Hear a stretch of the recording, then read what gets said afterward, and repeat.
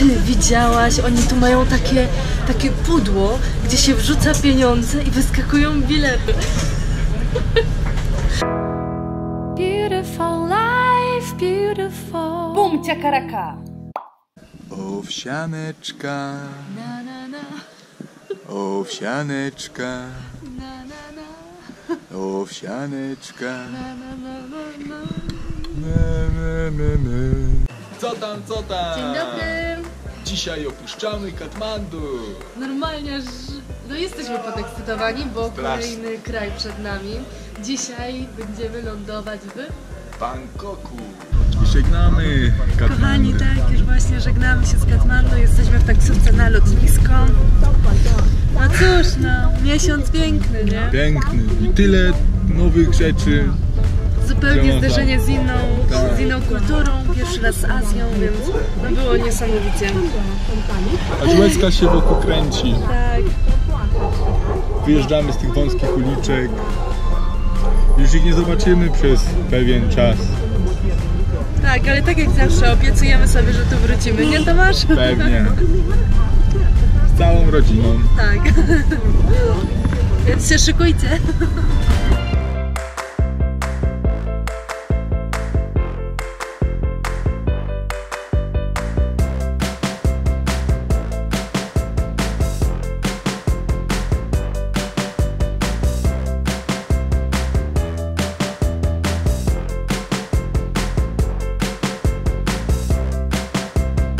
Wygląda lotnisko. Ładnie bardzo, nie? Tak. W ogóle naprawdę wszystko jest pięknie zadbane, ładnie wygląda. Wszędzie są znaki, że nie wolno śmiecić. No więc to jest... Opisane jest wszystko. Nawet jest kara za śmiecenie, czujecie? 200 rubli. Pani profesor Justyna pokaże nam mapę Nepalu Jak to wszystko wygląda? Tutaj widzicie jest Katmandu. Katmandu jest w takiej w dolinie. dolinie otoczonej górami. I teraz jak my y, wychodziliśmy na szlak, to właśnie pierwsze podjeżdżaliśmy do Besi Sahar. Czyli tutaj Sahar zjeżdżaliśmy jest- tu, Tak, potem tu. I tutaj, w tą dolinkę. Dokładnie. Dolinę Marsjangi. Czyli bo to jest tak. rzeka Marsjangi. I następnie patrzcie jak szliśmy. ja już tam nie dosięgnę. Potem patrzy tu przez góry do Czame, potem tu jest Manang, tutaj siedzieliśmy sobie te trzy dni. I potem zdobywaliśmy przełęcz, i potem do Muktinat, Kakbeni, Jomson. Yy, I tutaj schodziliśmy Tato, gdzieś Tatopani, o i stąd gdzieś jechaliśmy Tak. potem busikiem z powrotem do Pokary, znaczy nie z powrotem, co do Pokary. A tutaj w Pokarze y, był ten nasz chill, Tygodniowy. o, tam było super. Wszystko to możecie zobaczyć w naszych poprzednich filmikach oczywiście.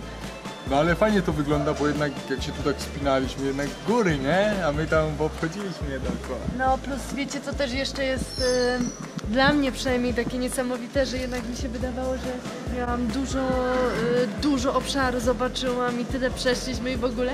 A patrzcie się, to jest tylko minimalny wycinek, nie? Patrzcie jakie jest wielkie to, nie? Ogromny, Tu. po prostu niesamowity.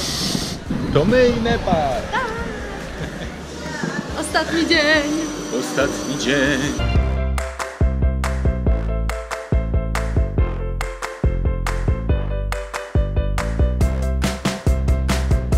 Jesteśmy już odprawieni, przeszliśmy też e, kontrolę bezpieczeństwa i czekamy na samolot.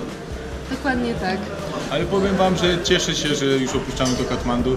Jednak trzy dni pod rząd to jest już wystarczająco. Już tak gardło nie boli, kurczę, Od kaszle tego mnie. pyłu, od tego pyłu. No bo tu jest właśnie ten pył, yy, no i strasznie tak zanieczyszczony, a jednak też mam uczulenie, takie rzeczy i to tak, No, no, więc Tomek generalnie już dzisiaj troszkę e, umierał, gardło go boli, katar ma, więc widać, że, że coś mu nie służy. świeże powietrze jest potrzebne.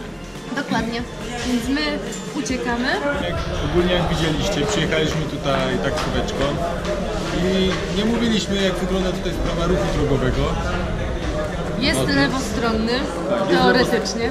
No ale właśnie i to co jest fajnego tutaj jak jeździliśmy właśnie po, po Nepalu, no to tak naprawdę są te e, są przepisy i wszystko, jest, że trzeba się trzymać lewej strony, natomiast tak naprawdę droga jest dla wszystkich, no i oni sobie jeżdżą, wymijają się tam jak chcą, wyprzedzają, na przykład takie wyprzedzanie na trzeciego to jest norma, tylko że wcześniej musisz zatrąbić przed zakrętem, no i wtedy wyprzedzasz, jeżeli z przeciwka coś nawiedzie, no to musi się zatrzymać, żeby się jakoś wyminąć.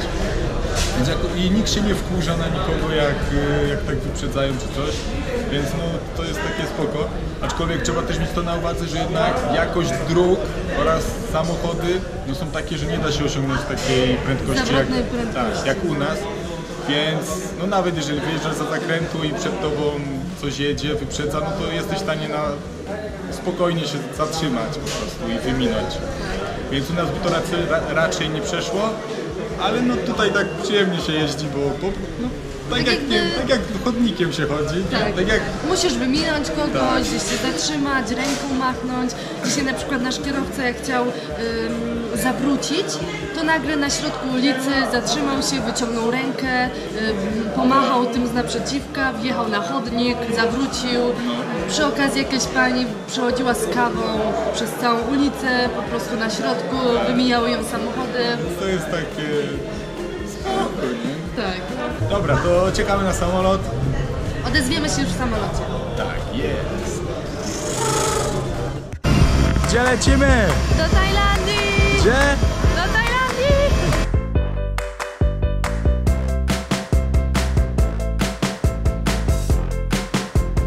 Weszliśmy w końcu, mieliśmy jakieś 30-minutowe opóźnienie. Nie było wiadomo co się dzieje, co się... Nie było też żadnej informacji, żadnego ogłoszenia, no ale w końcu jesteśmy. Tylko 30 minut, już siedzimy, wszystko super ładnie. To co, lecimy? Lecimy. No to lecimy!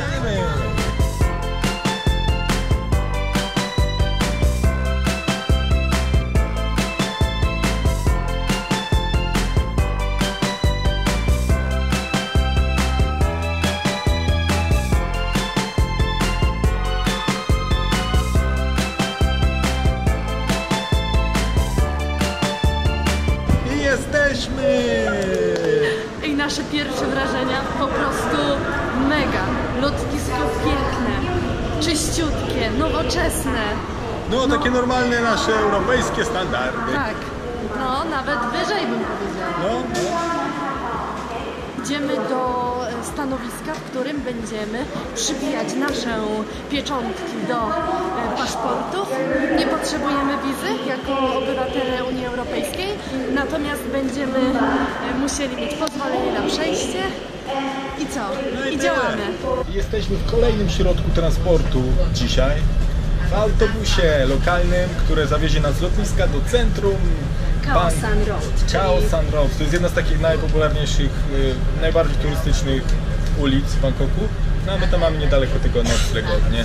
Dokładnie tak. Jeśli chodzi o przejazd z lotniska do centrum Bangkoku jest naprawdę dużo opcji. Jeśli chodzi o ich y, tak jakby opisanie, no to bardzo fajnie jest to zrobione.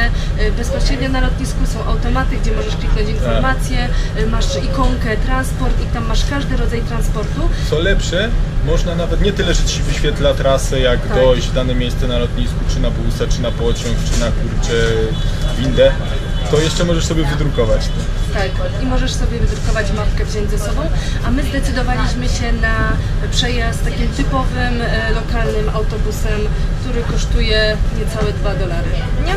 A i w ogóle też tam mieliśmy kaskę, no i mamy już tu bachty, czyli tutejszą walutę, ale to co mnie tak uwiodło, to, to jedynka, to jest najlepsza, w Tajlandii jest najlepsza jedynka jaką widziałem, w sensie jedynka, no patrzcie. To jest 100 bachtów i patrzcie jaka jest jedynka zarąbista, no nie czad, taki zawijasek piękny, o, Taki ślimak. taki ślimaczek cu- cudowny, no i dwa zera, czad. Opowiem Wam pewną anegdotkę, tak zwaną anegdotkę po powrocie z gór. Tomek mówi tak, ty widziałaś, oni tu mają takie, takie pudło, gdzie się wrzuca pieniądze i wyskakują bilety. Automat bilety, na bilety, nie? Po prostu Tomcio, odkrycie. Myślę, że powinieneś to opatentować i wprowadzić do Polski.